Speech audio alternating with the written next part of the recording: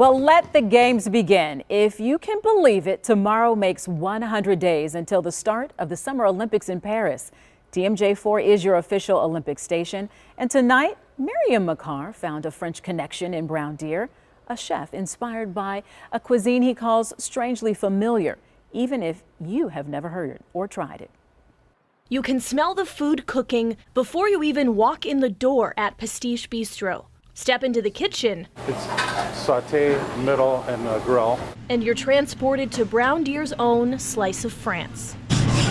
We try to make the kitchen like home. I gotta ask, where did the French theme come from? Why French food? It was just what I really loved, you know, right from the start. Michael Engel has been cooking for over four decades. Most of his career spent with the goal of bringing French culture and food to each plate served. The French have a respect and a reverence for not only for food and wine, but for the people who produce it. How would you describe French food to somebody who maybe hasn't experienced it? Strangely familiar. It's familiar, you know, it's comfortable.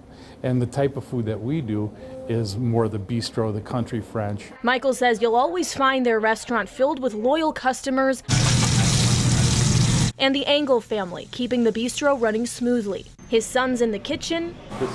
This is Nick, my middle one, Andrew, the oldest. And his wife, Angela, greeting customers at the door. She comes here in the morning. She does all the baking and pastries and breads and stuff.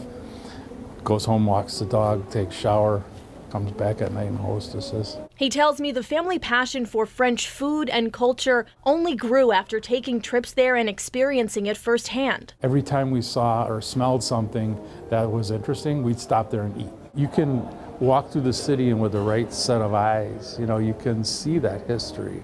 And it's something that you can't find in the United States. But you can find authentic French food and wine picked and prepared with love. What better place to be? right inside the doors of Pastiche. In Brown Deer, Mariam Mackar, TMJ4 News.